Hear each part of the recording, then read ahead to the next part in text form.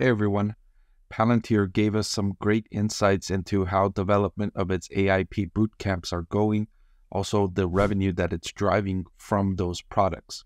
I'll also reveal what I think about Palantir's latest strategy decisions.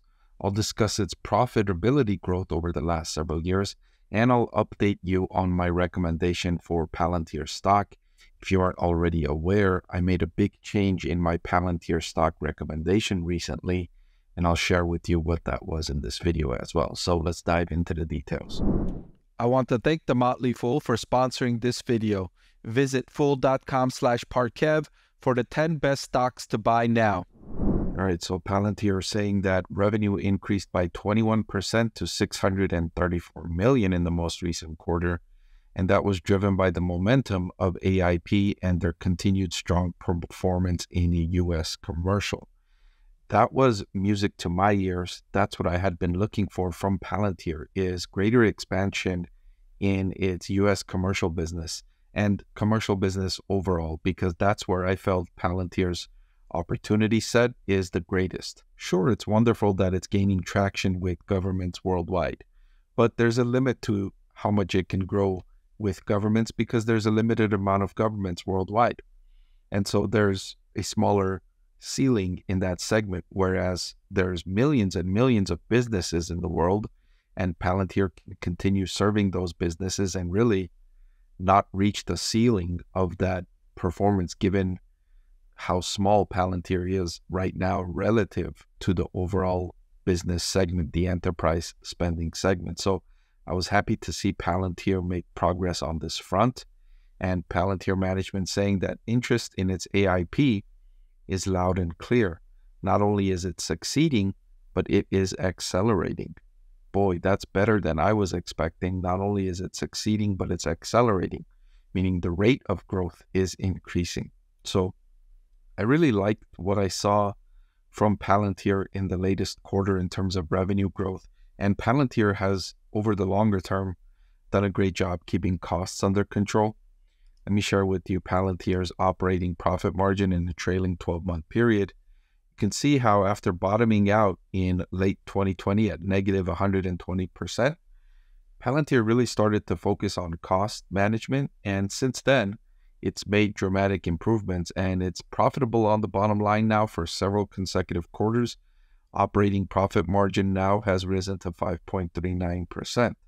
So great progress on that front as well. So not only has it implemented this new product category, this new service that's driving accelerated demand, it's done so while keeping costs under control. So that's what makes it really impressive for me. Not only delivering an innovative product or service that's generating strong demand, but doing so at reasonable costs.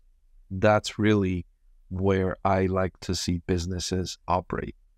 That's the name of the game, right? Anybody can deliver an excellent product or service if you're willing to accept massive losses on the bottom line, right? I can develop a product that costs me a hundred million dollars to create and then sell it to you for one million dollars. You will love it, right? Because you'll feel like you're getting such great value. But that would lead to massive losses for me and that's not sustainable. There's a lot of businesses like there out like that out there today, right? That doesn't impress me. I don't invest in companies like that. I want to see companies deliver great products at reasonable cost and generate a difference between what they sell that product and what it costs them to make that product. That leaves a profit for investors. That's what investors are interested in. And so, on the back of these results, I upgraded Palantir stock. I placed it on a borderline buy.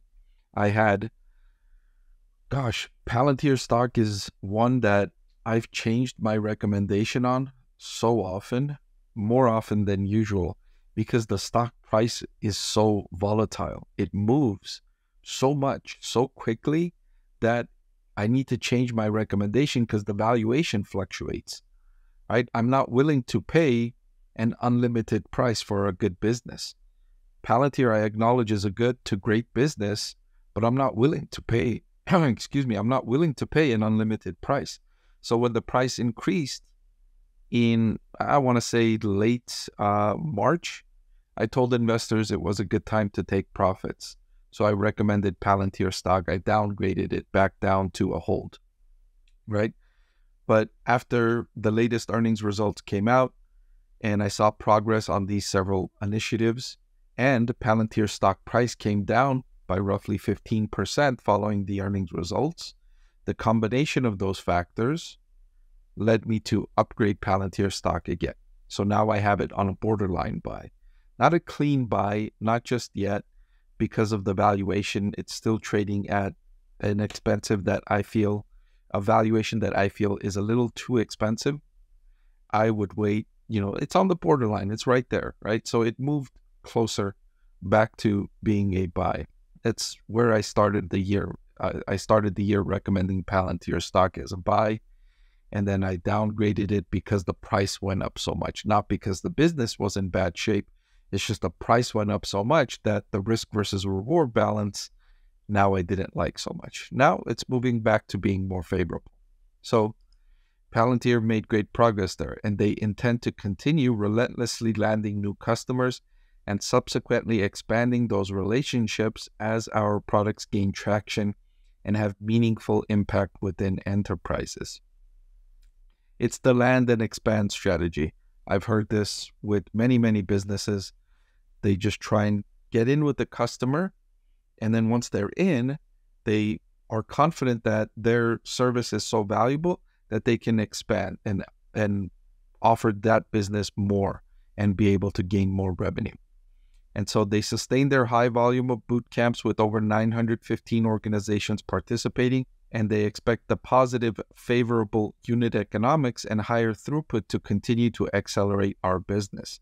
That's great to hear. Not only is revenue growing, but it's accelerating. The second derivative is increasing, which I like when I'm looking at an investment. In the first quarter, they added 41 net new customers in US commercial, which was an increase of 69% year over year. And that just goes to highlight the opportunity ahead right? They increased 69% year over year, but that was only 41 customers. They're still so small in terms of the number of businesses they serve that the opportunity is so large. And the reason they're so small in the number of businesses they serve is because they're so expensive. Palantir is a best in class service. Very few businesses can afford them right now. But as Palantir gets better and is able to lower their cost to serve, they can expand that opportunity set and reach more businesses because they will be more affordable to more businesses. So, all in all, the full picture, I really liked what I saw from Palantir. The strategy, the land and expand strategy, I like that strategy from Palantir because their service has proven to be a really good service. Businesses have demonstrated, have given them the feedback to give them the confidence. Like, yes, we know that when we go into a business and we offer our product, that business becomes more profitable.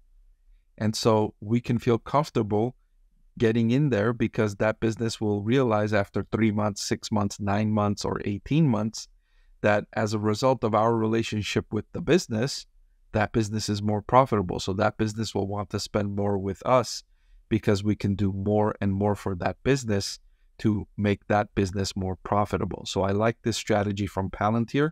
When you have this kind of confidence, this many years of relationships with businesses and governments where you've gained confidence that your service is so valuable, then this strategy works. And you're seeing evidence of that strategy. So I can understand the strategy. I like the strategy. And that's partly why I've you know, upgraded a notch higher my recommendation for Palantir stock.